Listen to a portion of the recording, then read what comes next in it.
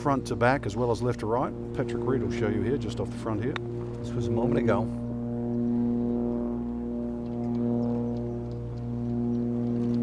One of the strengths of his game. Look out to that, Patrick Reed.